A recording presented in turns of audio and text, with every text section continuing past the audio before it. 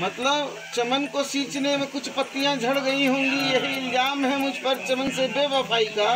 और जिन्होंने कलियों तले पाँव तले कलियों को रोंद डाला वही दावा करे चमन की रहनुमाई का।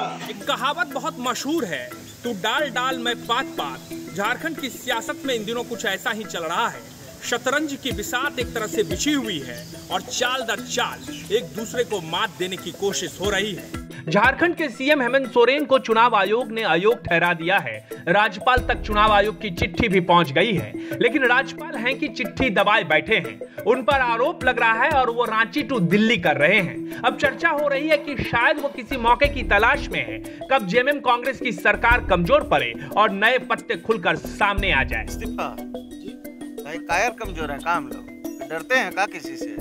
बहुत पहले एक फ़िल्म आई थी डरना ज़रूरी है। इसलिए महागठबंधन के विधायक रांची टू रायपुर कर रहे हैं। दलील ये कि छत्तीसगढ़ में कांग्रेस की सरकार है, उन्हें वहाँ किसी से खतरा नहीं है। लेकिन सवाल ये भी है कि खतरा किससे है। बीजेपी ताकतवर है, इसलिए महागठबंधन के एमएलए रांची टू रायपुर कर रहे हैं। लेकिन असल खतरा इन्हें खुद से ही होता है। मतलब कांग्रेस के विधायकों से इनकी ही पार्टी को खतरा। पार्टी को अपने विधायकों पर रत्ती भर भी भरोसा नहीं होता।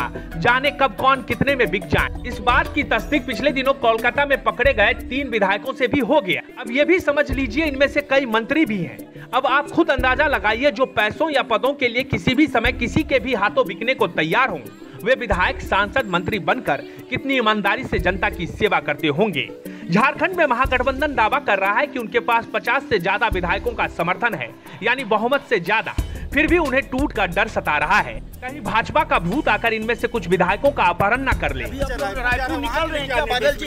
रायपुर निकल रहे हैं क्या?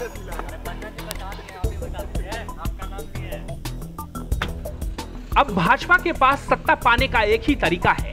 कांग्रेस के दो तिहाई यानी कम से कम दस विधायकों को तोड़ना, इसके बाद भी एक दो की जुगाड़ और करनी पड़ेगी। हेमंत सोरेन की अयोग्यता की चिट्ठी अब तक न थमाने के मायने भी यही समझे जा रहे हैं। कहीं भीतर ही भीतर कोई जुगाड़ भिड़ाई जा रही। ये भी है कि लोग ये भी जानना चाहते हैं कि आखिर गवर्नर जिस फैसले को कुछ घंटों में सुना सकते थे, उसके लिए इतनी देरी क्यों हो रही? है गवर्नर एक बार फिर से दिल्ली में है और सूत्र, जो कि शुरू से ही इस पूरी कहानी में किरदार के मुख्य भूमिका में है। वो सूत्र ये कह रहा है कि गवर्नर दिल्ली में अमित शाह से मुलाकात कर सकते हैं। गवर्नर जब चाहे चुनाव आयोग की चिट्ठी पर अपना निर्णय ले सकते हैं, ये उनका अधिकार है। लेकिन याद कीजिए हेमंत सोरेन के इस मामले की जाँच को लेकर चुनाव आयोग ने कितनी हड़बड़ी दिखाई थी? अब जब चुनाव आयोग का निर्णय सामने आ गया है तो वो जल्दबाजी क्यों नहीं दिखाई दे रहा है? झारखंड के राजनीतिक गलियारों में ये चर्चा है कि राज्यपाल राजभवन में कानून विदों से मंथन कर रहे होंगे, यानी उनकी सलाह ले रहे होंगे। लेकिन ऐसी कौन सी सलाह है, जो हफ़्ते भर से ज़्यादा वक्त बीतने के बाद भी पूरी नहीं हो रही है? खैर, ये सत्ता का खेल है, यानी राजनीति का मकसद ही होता है सत्ता में आना।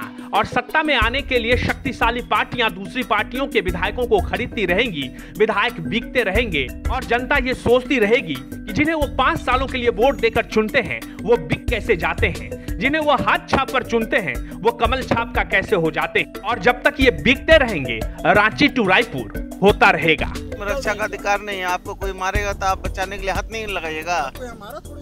अरे भाई राजनीतिक रूप से ना मार रहा है जी। लोकतंत्र की हत्या ना कर रहे हैं लोग भाजपा लोग হ্যাঁ আমি আমি এখন রাজপুর যাচ্ছি কোন কোন যা রে আমার সাথে বাংলাতে যোগাযোগ করো বাংলাতে হ্যাঁ এরা এরা ভাঙচুর করছে এরা ভাঙচুর পলিটিক্স করছে আর আমরা ভাঙচুর পলিটিक्स হতে দেব না क्या चाहते हैं कि बैलगाड़ी में चले क्या चाहते हैं बोलिए। मतलब वो ऊपर ऊपर हेलीकॉप्टर में उड़े हम नीचे जे बैलगाड़ी में चले हैं।